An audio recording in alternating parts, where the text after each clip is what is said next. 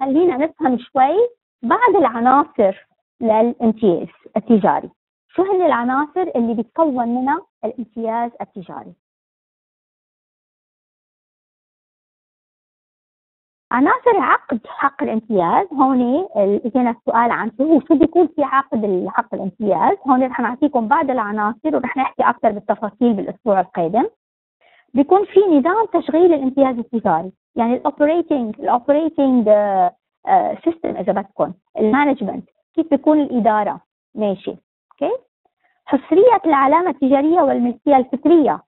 يعني اليوم أنا عم بعطي حق امتياز يعني عم بعطي حق استعمال العلامه التجارية. هون لازم يكون في عليها قانون لحتى ما يستخدمها الممنوح هذا الحق ممنوح الحق يستخدمها بطريقة سيئة okay؟ أو بطريقة تسيء للشركة.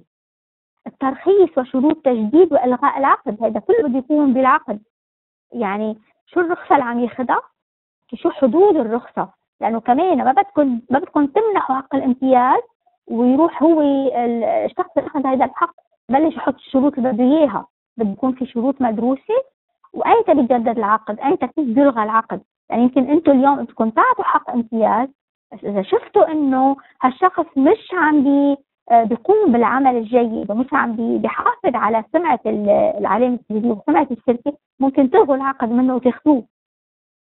الرسوم والمدفوعات في رسوم كل الرسوم الموجودة مثل ما قلت في رسوم الدولة بتفرضها في رسوم أنتم بدكم تفرضوها كشركة لما تعطوا حق الامتياز كيف تكون المدفوعات على أي أساس؟ هل أنتم بتطلبوا مدفوعات آه، أول ما يبلش حق الامتياز هل بتطلبوا مدفوعات بعدين؟ هذه كلها بدها تتوضح بالعقد. التدريب والدعم شو هو مدى التدريب اللي عم تمنحوه للأشخاص اللي عم ياخذوا منكم حق الامتياز؟ أو إذا أنتم أخذتوا حق امتياز شو مدى التدريب اللي بدكم إياه من الشركة؟ يمكن الشركة بتقول لكم بدها تدربكم بس إذا مش مكتوبة بالعقد مدى هالتدريب هيدا؟ آه، مش واضح. هيدي بدها تسيء لكم. لازم يكون كل شيء واضح ومكتوب لتعرفوا حالكم أنا شو نوع التدريب اللي رح يعطوني شو نوع الدعم اللي رح يعطوني المعدات والمؤن مثل ما قلت في شركات بتجبر آه، اللي بياخذوا حق الامتياز منها إنه تشتري كل المعدات من عندها وكل المؤن من عندها ب بهامش كثير كثير عالي ب cost كثير عالي هون كمان هيدي لازم تكون واضحة بالعقد okay؟ الإدارة والتسويق والترويج يعني اليوم أنا إذا عم بمنح حق الامتياز لشركة ثانية لشخص ثاني هل أنا كمانح هذا الحق؟ عندي آه، مخولة بإدارة هال franchise هيدي أو لا؟ في بعض الشركات بتضلوا هن عندهم حق بإدارة ال franchise في بعض الشركات لا بتترك الشخص اللي اللي منحوه هالحق هو يدير الشركة مثل ما هو مثل ما بده أكيد بإطار العمل. هون كمان فيكم أنتم تحددوا كيف بدها تكون الشغلة. okay؟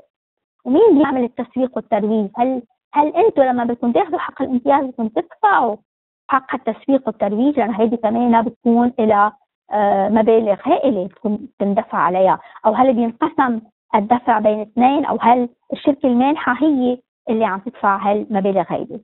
وأكيد الالتزامات القانونية هيدي كمان لازم تكون البنود كلها واضحة بالعقد. مثل ما قلت آه، أي محامي بهالمجال هيدا هو أصلا لازم تستشيروا محامي لما بدكم تحطوا هيدا العقد مش أنتم تكتبوه لوحدكم. كمان في سؤال هون الشخص الراغب في الحصول على حق الامتياز هل يتبع قوانين دولته أو قوانين الدولة التي أخذ منها حق امتياز لا. الشخص إذا أنتوا أخذتوا حق امتياز من دولة ثانية أنتوا عم تتبعوا قوانين دولتكم أنتوا عم تخلقوا شركة بدولتكم بس عم تتبعوا قوانين الشركة الأنظمة أنظمة الشركة من الدولة المانحة. يعني في شقين مثل ما قلت لل... للعقد. وهون المحامي اللي هو في يقدر يساعدكم أكثر بهيدي الشغلة لأن هي بتتغير حسب الدول. كل دول عندها كل دولة عندها آه، أنظمة شكل وعندها آه، آه، قوانين تختلف عن غيرها. ودائما بين الدول بيكون في آه بيكون في قوانين تساعد هالشركات تعمل هالفرانشايزنج هالحق الامتياز هيدا.